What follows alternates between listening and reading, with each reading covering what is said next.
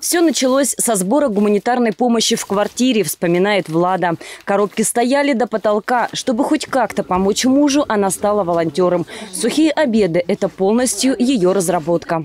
Ну, здесь приправы, морковь сухая, капуста, свекла, лавровый листочек. Вот видите, тут То есть вы это А. все сами натираете, сушите, да? это все проходит Как? термическую обработку. Как она проходит? Овощи привариваются и помещаются в дегидратор, или, ну, суш- в сушилку для овощей.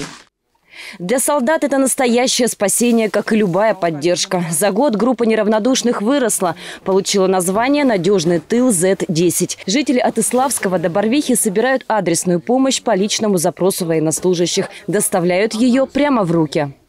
Сначала сложности были с доставкой, машин не было практически, ехать мужчины ну, не хотели, во-первых, далеко, потом страшно. Но все равно у нас как бы появились отважные ребята, Максим, Коля, Руслан, Витя и Юра Побайка. И начали возить. У всех позывные.